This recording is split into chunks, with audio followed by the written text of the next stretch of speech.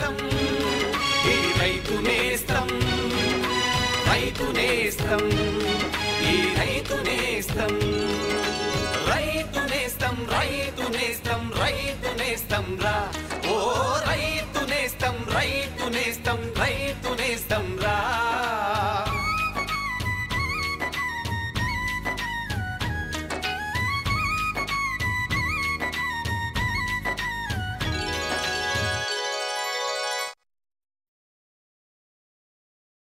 నాణ్యమైన అధిక దిగుబడులకు పంటల సాగులో ఆచరించవలసిన మేలైన యాజమాన్య పద్ధతులతో పాటు సాగు ఖర్చులను తగ్గించే అధునాతన సాంకేతిక పరిజ్ఞానాన్ని సమగ్రంగా రైతాంగానికి చేరవేస్తూ వారి అభ్యుదయమే ధ్యేయంగా ముందుకు సాగుతున్న రైతు నేస్తం కార్యక్రమానికి స్వాగతం. ఈనాటి కార్యక్రమంలోని ముఖ్యాంశాలు. కంద చేమదుంపల తవ్వకం మరియు నిల్వలో మెళకువలు జీవ రసాయనాల వాడకంలో పాటించవలసిన మెళకువలు మామిడిలో పిందెరాలుడు నివారణోపాయాలు రైతులకు అందిస్తున్న వడ్డీ లేని రుణాలు ఉంటాయి.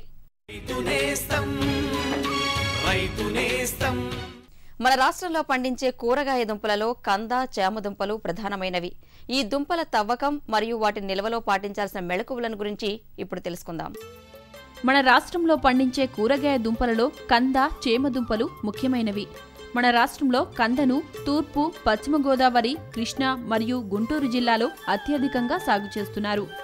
ముఖ్యంగా రైతులు కంద చేమదుంపలు తవ్వకం మరియు వాటి నిల్వలో పాటించాల్సిన మెళకువలను గురించి తెలుసుకోవాల్సిన అవసరం ఎంతైనా ఉంది. కనుక రైతులు దుంపల తవ్వకం నిల్వలో తగిన శాస్త్రీయ సాంకేతిక పద్ధతులను పాటించినట్లయితే నాణ్యమైన అధిక దిగుబడులతో మంచి లాభాలను పొందవచ్చు. మన రాష్ట్రంలో దుంప పంటలలో కంద వాణిజ్య ప్రాముఖ్యం కలిగి ఉన్నది. కోస్తా జిల్లాలలో ఈ పంటను ఎక్కువగా పండించుచున్నారు రైతులు కంద విత్తన దుంపపై అధికంగా ఖర్చు చేయుచున్నారు. ప్రస్తుతం ఎకరాకు కావలసిన విత్తన దుంపల ఖరీదు సుమారు ముప్పై వేల రూపాయల వరకు ఉన్నది. ఈ ఖర్చు తగ్గించుటకు మరియు ఆరోగ్యవంతమైన విత్తన దుంపల కొరకు రైతులు స్వయంగా విత్తన దుంపలను ఉత్పత్తి చేపట్టాలి.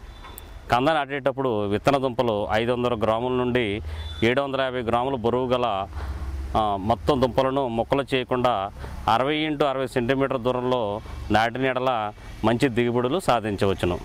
ఇక మనం చూసినట్టు విత్తనోత్పత్తి ప్రాముఖ్యత గురించి రైతులు కంద విత్తన దుంపలను అవసరానికి మించి అధిక పరిమాణంలోనూ అధిక దూరంలోనూ నాటుట వలన ఉపయోగించిన విత్తనానికి సరిపడ దిగుబడులు పొందలేకపోతున్నారు పెద్ద దుంపలు నాటేటప్పుడు పైరు ఎక్కువ ఎత్తి పెరిగి సస్యపోషణ రక్షణ చర్యలకు ఇబ్బంది కలుగుతున్నది ముక్కలుగా కోసి నాటినప్పుడు భూమిలోని చీడపీడల వలన కొంత భాగము విత్తన దుంపను కూడా నష్టపోవచ్చున్నారు పెద్ద దుంపలను అనగా ఒక కిలో విత్తనంగా వాడినప్పుడు సగటు అభివృద్ధి రెండు రెండు పాయింట్ ఐదు నుంచి మూడు మూడు రెట్ల వరకు మాత్రమే అభివృద్ధి అవుతున్నది అదే చిన్న దుంపలను అన అనగా సుమారు ఐదు వందల గ్రాములు విత్తనంగా వాడినప్పుడు దిగుబడి వృద్ధి రేటు సగటున నాలుగు నుంచి ఐదు రెట్లు కలదు. అదేవిధంగా కోసిన ముక్కల కన్నా పూర్తి దుంపలను విత్తనంగా వాడిన వలన విత్తనం మోతాదు తగ్గించడమే కాక కొంద త్వరగా మొలకెత్తి ఎక్కువ దిగుబడి వచ్చును. ఇదిగో ఇంకా చెప్పు. అంతే. అరే అదేమిటయ్యా? ఇంత కొంచెం రసాయనిక ఎరువా? పొలం పనులు మానేసావేంటి పొలం పనులు కాదు అమాయకత్వాన్ని వదిలేశాను. మట్టి పరీక్షలు జరిపించాను. ఏం లేదు ఇప్పుడు ఎంత అవసరమో అంతే ఎరువుని పొలంలో చల్లుతాం ఆ. రైతన్నలు ఈ రోజే మీ సమీపంలోని జిల్లా భూపరీక్ష ప్రయోగశాలలో మట్టి పరీక్షలు జరిపించండి. మట్టిలోని పోషక తత్వాలు తేమ మొక్కల అభివృద్ధిని దృష్టిలో పెట్టుకుని కావలసిన పోషక తత్వాల్ని జల్లండి. అన్నట్టు మట్టిలోని సల్ఫర్ జింక్ బోరోన్ వంటి సూక్ష్మ పోషక తత్వాల గురించి తెలుసుకోవడం మర్చిపోకండి. ఎరువు ఇంకా జైవిక ఎరువుల్ని సరిగ్గా వాడి నేలలోని ఉత్పాదక శక్తిని పెంపొందించండి. దిగుబడిని పెంచి ఖర్చుని తగ్గించండి. అమూల్యమైన విదేశీ ద్రవ్యాన్ని పొదుపు చేయడంలో సహకరించండి. అంతేకాదు కొద్ది కొద్దిగా నత్రజనిని అందించే ఎరువులు అంటే వేపతో కూడిన యూరియాకి ప్రాధాన్యతనివ్వండి. ఆకుల మీద యూరియాని జల్లండి. అరే వా నిజంగానే తెలివైన వాడు అయ్యావే?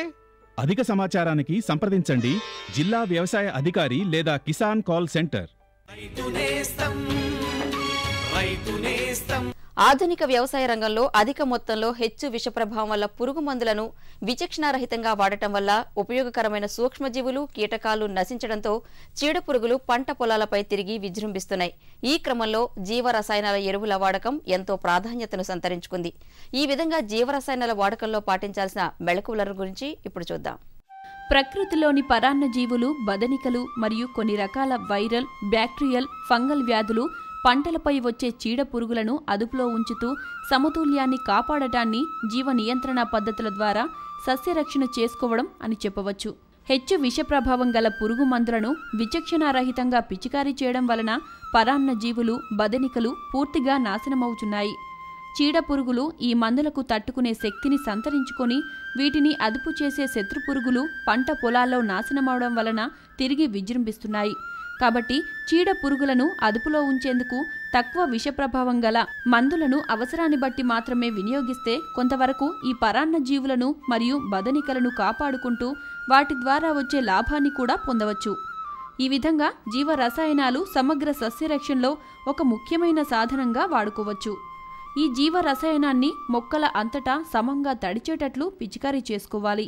జీవరసాయనాల వాడకం కానివ్వండి అదే రకంగా వాటి కొనుగోలులో రైతులు పాటించవలసిన జాగ్రత్తల పరంగా చూసుకున్నప్పుడు జీవరసాయనాలలో అతి ముఖ్యమైన సమస్య నాణ్యతాపరమైన సమస్యగా మనం చూసుకోవాల్సి ఉంటుంది. మన పంట పొలాల్లో పురుగుల ఉధృతి కానివ్వండి అదే రకంగా హానికారక ఏదైతే తెగుళ్ళు వస్తాయో వాటి ఉధృతిని తగ్గించడానికి వివిధ రసాలు రకాల జీవరసాయనాలను మనం వాడుతుంటాం రెక్కజాతి పురుగుల ఉధృతిని తగ్గించడానికి మనం ముఖ్యంగా బీటీ ద్రావకాన్ని మనం వాడుకుంటూ ఉంటాం. ఇది పొడి రూపంలో అదే రకంగా ద్రవ రూపంలో మార్కెట్లో లభ్యమవుతుంటుంది. కీటకనాశక శిలీంద్ర ఆధారిత జీవరసాయనాలు ఏవైతే ఉన్నాయో అవి ఎక్కువగా వాడకంలో రావటం చూడటం జరిగింది.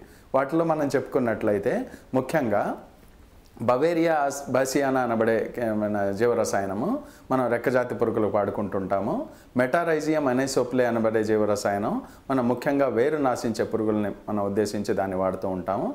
అదే రకంగా వర్టిసిలియం లకాన్ని తీసుకున్నట్లయితే మన వివిధ పంటలు నాశించే రసం పీల్చే పురుగుల ఉద్- సముదాయం ఏదైతే ఉన్నదో వాటి ఉధృతిని తగ్గించడానికి వాడుతుంటాం. అది పెనుబంక కానివ్వండి దీప పురుగులు కానివ్వండి తెల్లదోమ కానివ్వండి ఇతరత్ర రసం పీల్చే పురుగులు ఏవైనా కావచ్చు. అదే రకంగా మనం తెగుళ్ళ పరంగా చూసుకున్నప్పుడు చాలా వరకు ఎక్కువ వాడకంలో ఉన్నదానిగా మనం ట్రైకోడర్మా విరిడిని చెప్పుకోవచ్చు.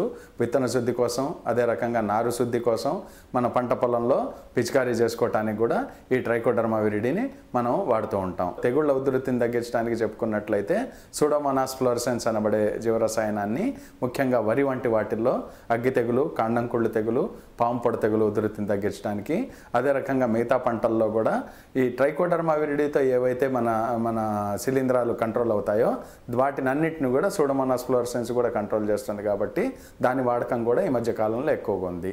ముఖ్యంగా కొనుగోలు సమయంలో ఈ జీవరసాయనాలు ఏవైతే మనం ఇప్పటివరకు చెప్పుకున్నామో ఈ జీవరసాయనాలన్నీ పురుగు మందుల చట్టం కిందకి తేపడ్డాయి చాలా వరకు మార్కెట్లో ఎటువంటి పంజీకరణ లేకుండా బయో ప్రొడక్ట్స్ పేరు మీద కొన్ని రకాల జీవరసాయనాలు అని చెప్పుకుంటూ అమ్ముకోవటం జరుగుతుంది కాబట్టి వాటి మీద ఎటువంటి రిజిస్ట్రేషన్ నెంబర్ ఉండదు కాబట్టి అటువంటి వాటిని రైతు సోదరులు తప్పనిసరిగా కొనకుండా జాగ్రత్త వహించాల్సిన అవసరం ఉంది.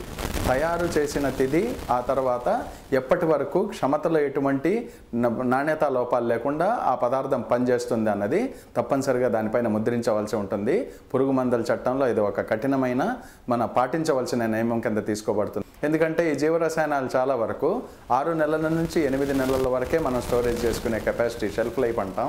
అది ఉంటుంది కాబట్టి ఆ షెల్ఫ్ లైఫ్ అయిపోయిన జీవరసాయనాన్ని వాడుకున్నట్లయితే అవి పనిచేయకపోవటం ఒక్కటే కాకుండా కొన్ని హానికరమైన శిలీంధ్రాలు కూడా దాంట్లో అభివృద్ధి చెందే ఆస్కారం ఉంటుంది కాబట్టి తప్పనిసరిగా తయారు తిది ఎప్పటి వరకు వాడుకోవచ్చన్న తిథులు చూసుకుంటూ ఆ పనికొచ్చే కాలంలో ఉన్న జీవరసాయనాలు మాత్రమే రైతు సోదరులు కొనుగోలు చేసుకోవాలి. సూర్యరశ్మి ఎక్కువగా తగలని చోట ఎటువంటి తడి లేక తేమ లేని చోట మాత్రమే వాటిని భద్రపరుచుకుని వాటిని మనం సకాలంలో గనక వాడుకున్నట్లయితే మనం షెల్ మన స్టోరేజ్లో కూడా ఎటువంటి ప్రాబ్లమ్స్ లేకుండా వాటి నాణ్యత తగ్గకుండా వాడుకోవచ్చు. ఎకరానికి వంద లార్వల్ ఈక్వలెంట్ ఎన్పి ద్రావకం వాడుకుంటున్నప్పుడు మనం ఎకరానికి సరిపడే ఎన్పివి ద్రావకంలో ఒక కిలో బెల్లం అదే రకంగా వంద ఎంఎల్ టినోపాలు కానివ్వండి రాణిపాలు కానివ్వండి లేకపోతే ఎటువంటి సబ్బు సొల్యూషన్ కానివ్వండి దాంట్లో కలిపి కనుక వాడుకున్నట్లయితే సూర్యరశ్మి వలన క్షమత తగ్గించే గుణం ఏదైతే ఉన్నదో అది కొంచెం వరకు తగ్గటం వలన మనం రైతు సోదరులు వీలైనంత లాభాలు పొందవచ్చు. తప్పనిసరిగా మనం జీవరసాయనాల్లో కీటకనాశక శిలీంధ్రాలు కానివ్వండి తెగుళ్ళను ఉద్దేశించి వాడుకునే జీవరసాయనాలు శిలీంధ్రాలు ఏవైతే ఉన్నాయో వాటిని వాడుకుంటున్నప్పుడు రసాయనిక శిలీంధ్ర నాశకాలతో కలిపి కానివ్వండి కొన్ని రోజుల తర్వాత కానివ్వండి వీటిని మనం స్ప్రే చేసుకోవటం కానీ ఇతర పద్ధతుల్లో కానీ వాడుకోకూడదు.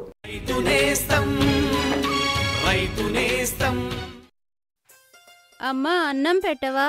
కాసేపు ఆగమ్మా పప్పు ఇంకా ఉడకలేదు.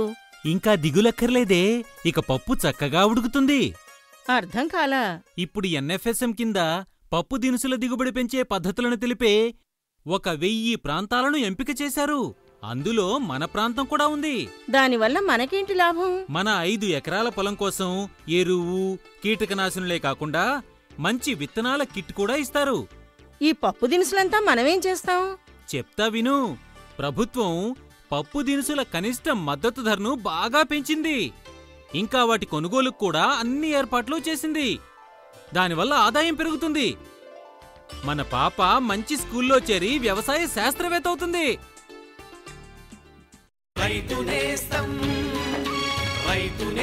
మామిడిని పండ్లలో రారాజుగా పిలుస్తారు. పిల్లలు పెద్దలు అందరూ మామిడిని ఎంతో ఇష్టంగా తింటారు. మన రాష్ట్రంలో పండించే మామిడికి దేశీయ మార్కెట్లో మంచి గిరాకీ ఉంది. ప్రస్తుతం రాష్ట్రంలోని మామిడి పూత పిందె దశలో ఉంది.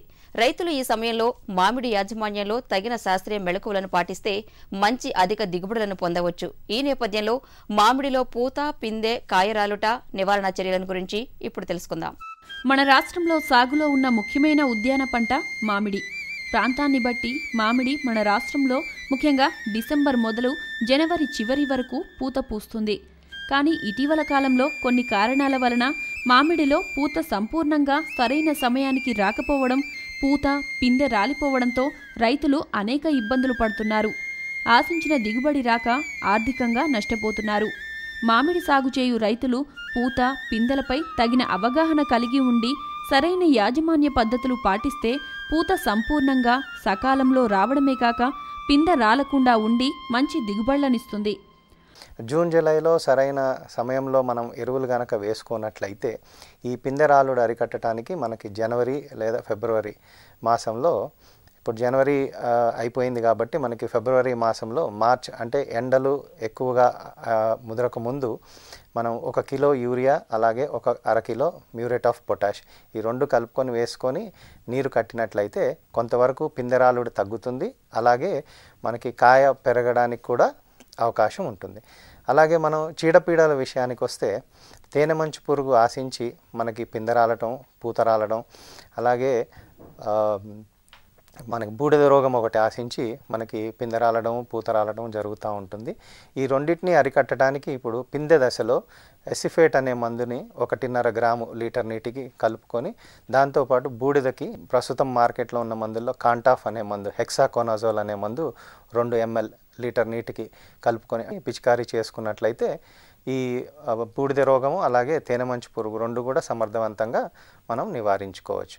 ఆ తర్వాత ఇవన్నీ చేసినా కూడా మనకి పిందె ఎక్కువగా రాలుతుంది అని గమనించినట్లయితే అది హార్మోన్ లోపమని గమనించి దీనికి మనకి మార్కెట్లో ఎన్ఏఏ అని దొరుకుతుంది.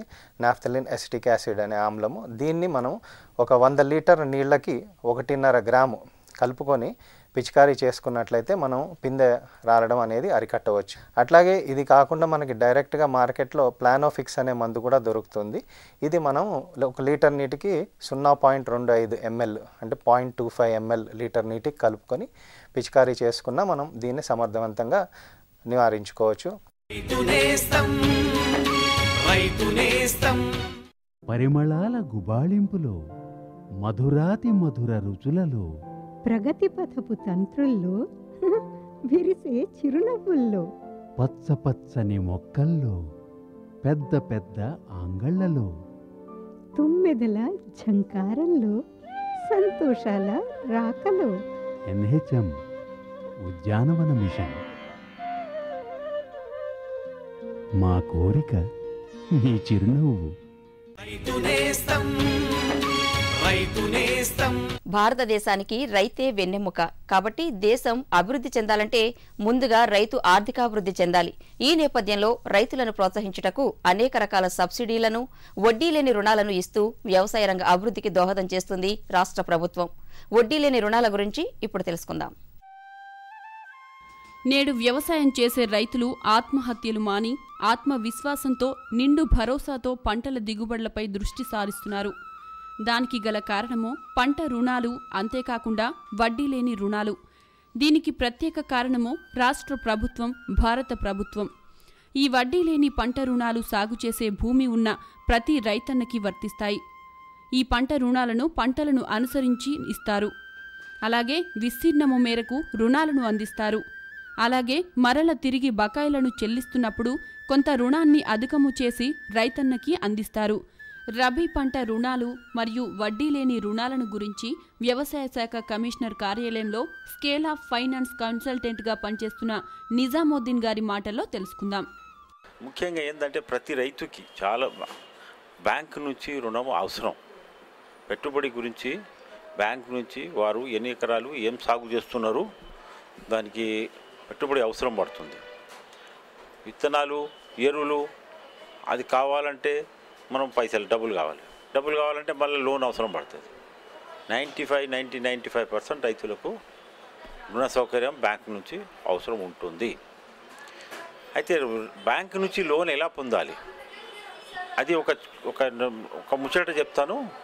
బ్యాంకు నుంచి మనం లోన్ పొందాలంటే మన దగ్గర మనకున్న పట్టేదారు పాస్బుక్ తీసుకొని బ్యాంక్కి వెళ్ళి బ్యాంకు అధికారులకు మేనేజర్ గారికి కానివ్వండి లేదా ఫీల్డ్ ఆఫీసర్ గారు కానివ్వండి చూపించి వారికి ఎన్ని ఎకరాల మీరు సాగు చేస్తున్నారో సాగు వివరాలు తెలియజేస్తే ఏ పంట పెడుతున్నారో తెలియజేస్తే స్కేల్ ఆఫ్ ఫైనాన్స్ ప్రకారం ప్రతి పంటకి వాళ్ళు నిర్ధారణ చేసి ఉంటారు స్కేల్ ఆఫ్ ఫైనాన్స్ అని ఉదాహరణకు వరి.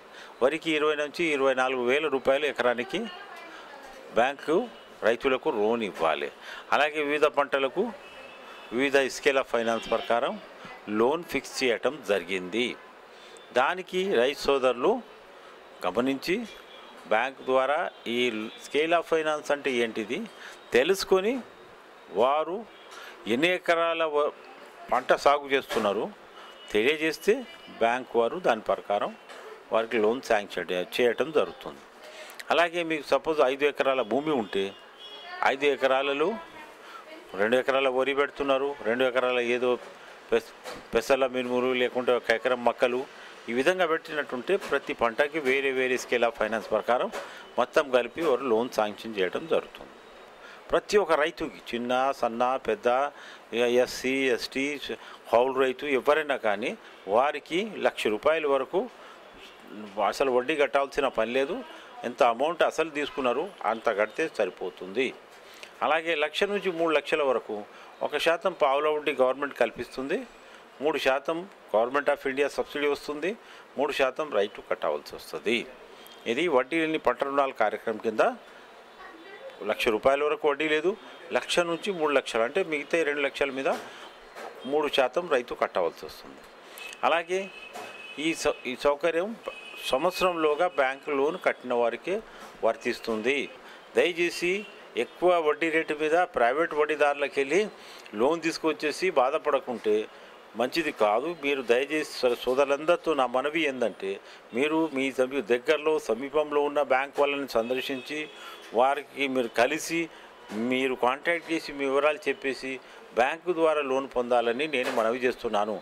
దయచేసి మీరు పంట రుణాల గురించి కానివ్వండి కౌలు రైతుల రుణాల గురించి కానివ్వండి వడ్డీ లేని రాయితీ గురించి కానివ్వండి మీ మండలాలలో మీ ఏరియాలో మీ సమీపంలో మా వ్యవసాయాధికారులను మా వ్యవసాయ సిబ్బందిని కలిసి మీ గ్రామంలో మీ ఆదర్శ రైతులను కలిసి వివరాలు తెలుసుకొని ప్రభుత్వం వారు పెద్ద ఎత్తున కల్పించిన ఈ సౌకర్యాన్ని మీరందరూ వినియోగిస్తూ తక్కువ వడ్డీ రేట్లలో మీరు రుణాలు పొంది ఎక్కువ ఉత్పత్తి సాధించాలని నేను ఆశిస్తూ ముగిస్తున్నాను. ధన్యవాదాలు.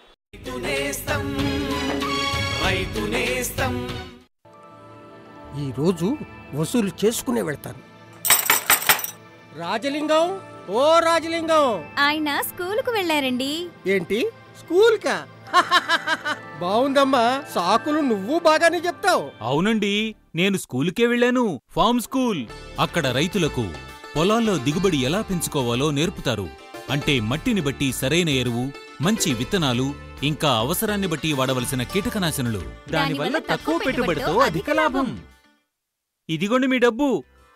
దీంతో మీ బాకీ పూర్తిగా చెల్లు.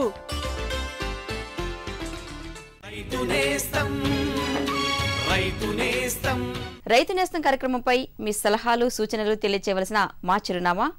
రైతు నేస్తం డిప్యూటీ డైరెక్టర్ జనరల్ దూరదర్శన్ కేంద్రం రామంతపూర్ హైదరాబాద్ ఐదు సున్నా సున్నా సున్నా ఒకటి మూడు.